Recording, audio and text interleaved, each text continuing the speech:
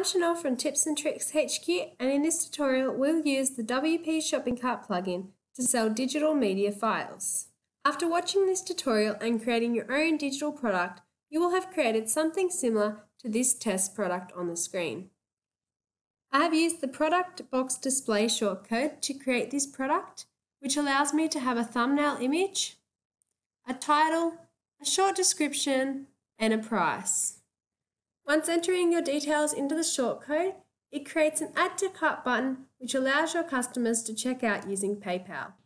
Before I walk you through the steps in creating your own digital product, we'll need to just configure some PayPal settings. So if you go up to your PayPal profile and in the settings, Selling Tools, I'd just like to draw your attention to instant payment notifications.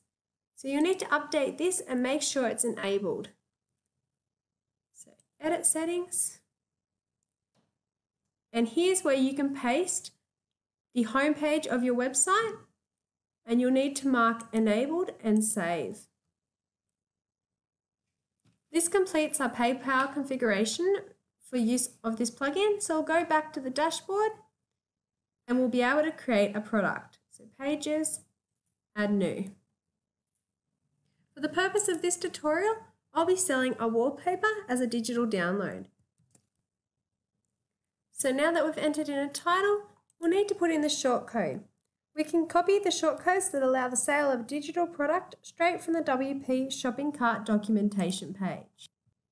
So under how to sell digital downloads, if you scroll down, it's this second URL that we'll be using. So if you just copy this, make sure you've got the entire URL. You can simply paste it into the text mode. So now we just need to customize this shortcode for our digital download.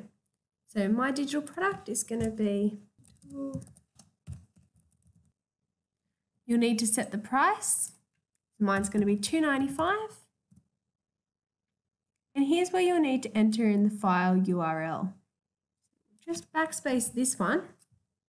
And then if we come up here, open our media in a new um, tab and this is the photo I'll be using. You can get the URL straight from here. So copy the entire thing.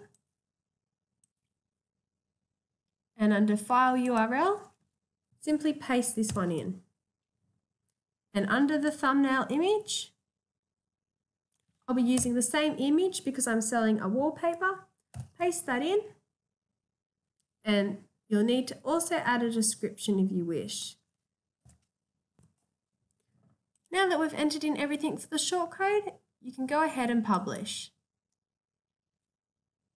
Now we'll go ahead and view. So open link a new tab and this is what it's created. So it's created an add to cart button. You can see the price, the description and the title along with the thumbnail image. Although your digital products page will look similar to that of a physical product, your customer will receive an email with the digital product link so they are able to then download the item they've purchased. Although I've used the copy and paste shortcode method in this tutorial, you're also able to use the shortcode inserter. So below, I'll just show you WP cart shortcode. And it's here that you can enter in the product name, price, and your file URL of your digital download in, and you can simply just insert that in. So I'll just quickly do that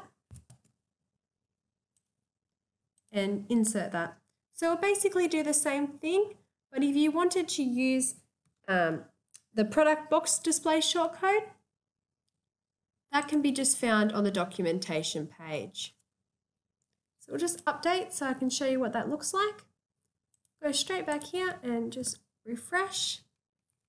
And as you can see, it just creates that little add to cart button. So that brings us to the end of this tutorial of creating a digital downloadable product using the WP Shopping Cart plugin. If you've still got any questions, head over to the forum or email us.